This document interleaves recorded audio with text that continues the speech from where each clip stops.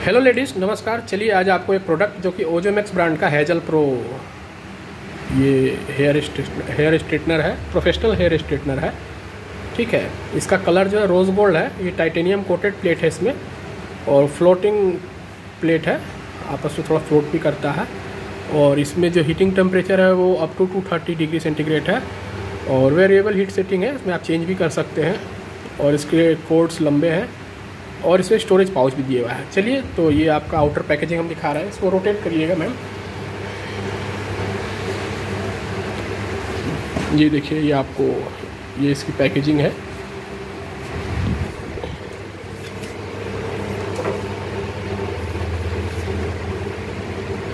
यहाँ लिखा हुआ है। ठीक है? और इसकी प्राइस मैं आपको बता देता हूँ। इसकी प्राइस जो है वो थर्टी थ्री हंड्रेड है। आपको ये मार्केट में easily twenty percent thirty percent पे ऑफ़ पे मिल सकता है, जैसा आपका मार्केट में रेट चल रहा हो। ठीक है? चलिए इसका अनबॉक्सिंग पहले करते हैं। खोलिएगा इसको।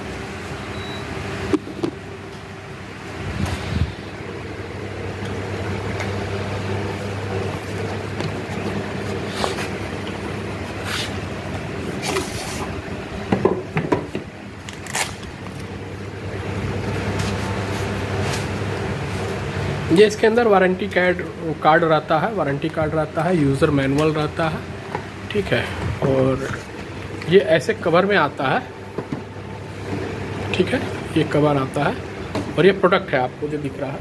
प्रोडक्ट को सामने से दिखाइए। ये प्रोडक्ट है, इसको पूरा घुमा के दिखाइए चारों ओर से। ये प्रोडक्ट है आपको। ये एक्चुअल प्रोडक्ट है। ये मॉडल नंबर आपको दिख रहा है Hazel pro B L three nine zero H P S ये इसके अंदर टेम्परेचर सेटिंग दिया हुआ है बटन दिया है पावर ऑन ऑफ़ बटन दिया हुआ है। ठीक है? ये आपका प्लेट दिख रहा होगा। मैंने एक बार ट्राई किया है, आपको रिपीट ट्राई कर रहा हूँ। ठीक है? चलिए इसको आपको यूज़ करके दिखलाते हैं कि कैसा इसका रिज़ल्ट है। पकड़िएगा मैम। चलिए इसको प्लग करते हैं।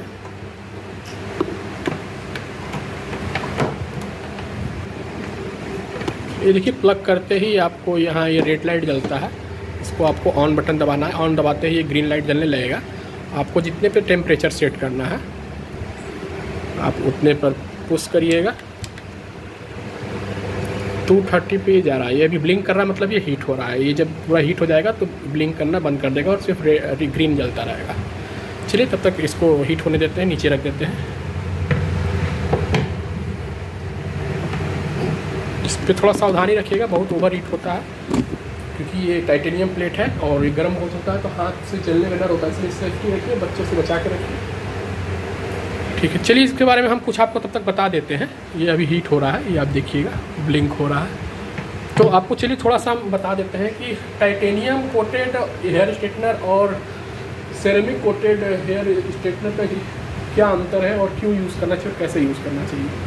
तो जो टाइटेनियम कोटेड प्लेट होते हैं, जो स्ट्रेटनर आते हैं, उनका इस्तेमाल मैक्सिमम हम ज़्यादातर पार्लर में, सैलून में प्रोफेशनली यूज़ करते हैं क्योंकि ये बहुत ही ज़्यादा हीट होता है और, ये केमिकल ट्रीटमेंट के लिए अच्छा होता है क्योंकि इसमें हीटिंग पावर ज़्यादा होती है और शाइनिंग इसमें अच्छी आती है। और ये आप डेली यूज़ नहीं कर सकते हैं। अगर आप इसको, अगर आप पर्सनल यूज़ के लिए यूज़ इस्तेमाल करना चाहते हैं कि आप जैसे हर दूसरे तीसरे दिन अगर आप इससे हेयर स्ट्रेट कर रहे हैं तो आपके हेयर इससे ज़्यादा डैमेज होंगे, क्योंकि हीट ज़्यादा होगा, आप हीट प्रोटेक्शन स्प्रे भी लगाएँगे, फिर भी इसकी हीटिंग पावर ज़्यादा होती है। तो अगर आपको अगर पर्सनल यूज़ करना है, जैसे आपको हर दूसरे, तीसरे दिन या हफ़्ते में या महीने में दो चार बार अगर आपको ये अगर यूज़ करना है तो आप प्रोडक्ट हीट हो गया है, और ग्रीन लाइट अब ब्लिंक नहीं कर रहा मतलब ये कम्प्लीटली हीट हो गया है। ठीक है तो हम जो बता रहे थे आपको, वो ये बता रहे थे कि अगर जैसे आप अगर अपने पर्सनल यूज़ के लिए और ज़्यादा अगर इस्तेमाल करते हैं आप आप कोई प्रोफेशनल नहीं है अगर आप कोई केमिकल ट्रीटमेंट नहीं करते हैं और एक, एक ही पर्सन पे इसको ज़्यादा इस्तेमाल करना है तो आप सेरेमिक प्लेट वाले हेयर स्ट्रेटनर को प्रीफर करिए क्योंकि जो टाइटेनियम कोटेड होते हैं अगर आप साल में एक दो बार अगर करते हैं तो कोई दिक्कत नहीं है लेकिन अगर आप महीने में दो चार बार करते हैं हफ़्ते में एक बार दो बार करते हैं तो आप कोशिश करिए कि आप सेरेमिक कोटेड प्लेट वाले ही hair straightener hair straightener choose करिए नहीं तो इससे बाल आपके ज़्यादा डैमेज होंगे। चलिए देखते हैं इसमें रिज़ल्ट कैसा है। ये आपको दिख रहा होगा, ये कम्प्लीटली हीट हो चुका है। मैं आपको करके दिखलाता हूँ।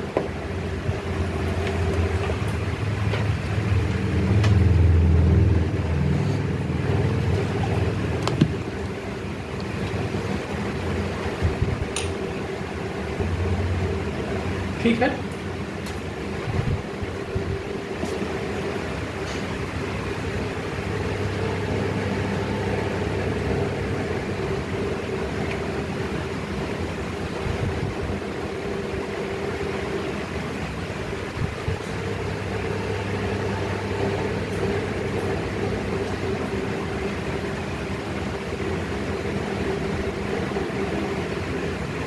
पावर इसकी अच्छी है अच्छा हीट करता है कभी भी हेयर स्ट्रेटनर यूज़ करते समय ध्यान से काम करिए कि आपके फेस पे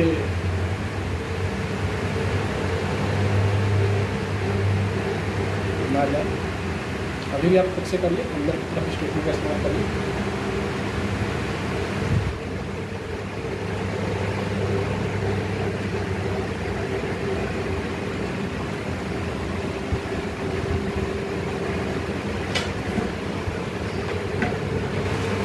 आपको दिख रहा होगा, बाल सीधा करिएगा। ये स्ट्रेटनिंग आपको दिख रही होगी। ऊपर ऐसे करिएगा। बाल को एक थोड़ा सा लेयर लीजिएगा हाथ को। हाँ ये ऐसे पकड़िएगा। ये। ठीक है? इधर वाला दीजिएगा कभी भी कोशिश करिए, मैं अभी ऐसे कर रहा हूँ, लेकिन आप कभी भी स्ट्रेटनर अगर खुद से करते हैं तो उस हाथ में पकड़ के पकड़िए, बता रहा हूँ। और करिए क्योंकि आपका इधर क्या फेस के अपवर्ड डायरेक्शन में रहेगा तो इससे आपको जलने की चांसेस कम रहेंगे। ठीक है? बस करिए, और बाल दूसरे बाल निकालिए, पीछे से एक आध बाल और निकालिए। चलिए तो ये छोटा सा सेशन लेके एक बार इनसे करवा के दिखलाते हैं।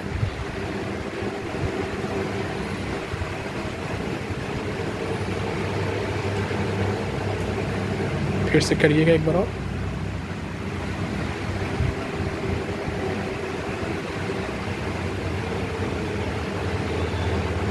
तो ये स्ट्रेट तो कर दिया। अब इससे आपको हम कर्ल करके दिखलाते हैं कि कर्ल भी पॉसिबल है या नहीं।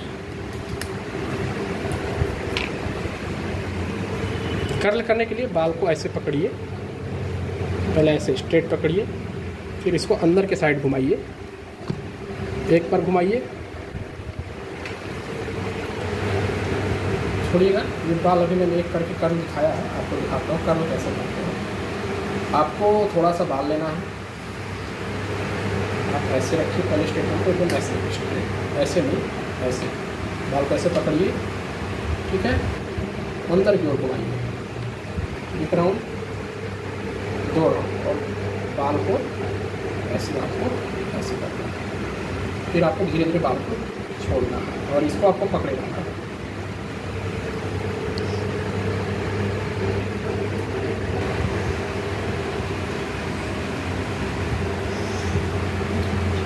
दिख रहा होगा, आपको बाल प्रॉपरली कर्ल हो रहा है, ठीक है? आपको मैं छोटा एक कर्ल करके दिखाता हूँ। स्ट्रेटनर को ऐसे सीधा पहले ऐसे पकड़िए, ये ऐसे, यहाँ पे बीच कहीं लीजिए अंदर की तरफ़ घुमाइए। ये घुमाइए, दो बार घुमाइए। और ये जो बाल है उसको इधर से लटका और धीरे धीरे धीरे धीरे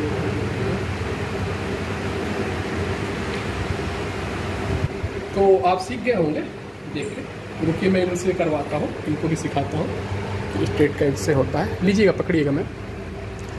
बाल उधर से लीजिएगा राइट साइड से। लेफ़्ट साइड से लीजिएगा नहीं उसको चलिए इनको हम कर्ल करना सिखाते हैं। बाल को थोड़ा सा और ढीला करिए और ऊपर ले जाइए और थोड़ा सा नीचे। हाँ इतने पे पकड़िएगा बाल को। स्ट्रेटनर को ऐसे पकड़ के अपने उल्टा साइड नहीं आपको अप, अपने साइड घुमाना है। अंदर साइड ये इसको अंदर की ओर करिएगा। एक और एक, दो। और ये बाल को आपको ऐसे करना है।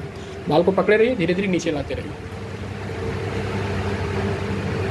लाते रहिए।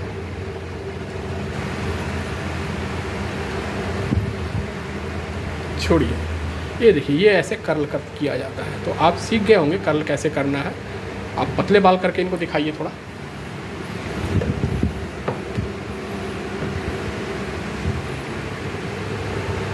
बाल को ध्यान दीजिएगा, यहाँ पे थोड़ा सा यहाँ साइड पे पकड़िएगा, ठीक है? अंदर की ओर घुमाइए, अपने तरफ़ हाँ वन टू ठीक है? ध्यान दीजिएगा अपना स्किन बचा करके। छोड़िएगा इसको हाँ ये लटक गया, अभी धीरे धीरे नीचे खींचिएगा।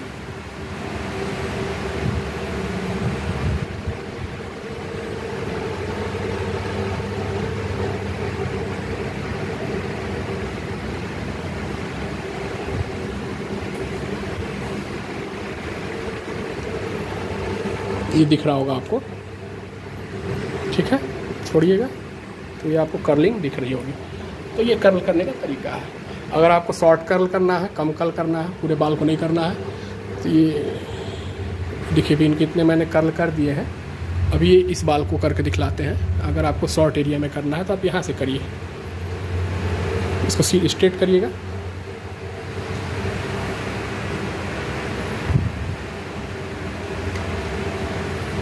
आपको लॉन्ग कर्ल नहीं करना है शॉर्ट कर्ल करना है। आप यहाँ पकड़िए। हाँ बस करिए हीट हो गया है। यहाँ पे आप पकड़िए स्ट्रेटनर पे यहाँ लगाइए। घुमाइए एक बार एक बार घुमाइए। अपने तरफ़ घुमाइए, अंदर की तरफ़। आप इसको घुमाइए, एक, फिर एक बार और, ठीक है? ध्यान दीजिएगा, दो बार घुमाना है। बाल को खींचिए।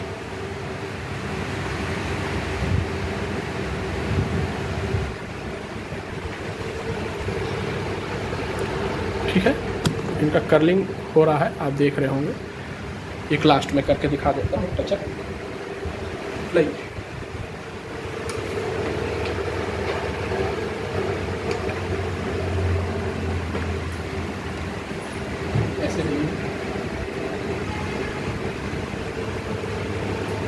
ये आपको अंदर की तरफ़ वन टू ठीक है? पकड़े रहिए धीरे धीरे खींच छोड़िएगा नहीं है?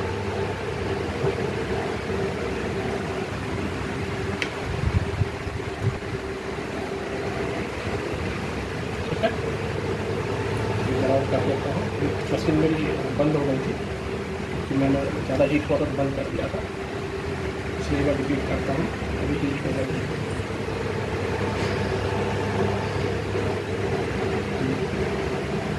अगर हीट ना हो तो धीरे धीरे करिए।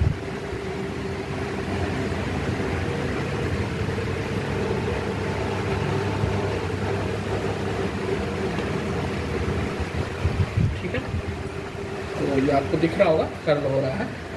तो वीडियो आपको अच्छा लगा होगा तो चैनल को लाइक करें, शेयर करें, सब्सक्राइब करें। थैंक यू, धन्यवाद, नमस्कार।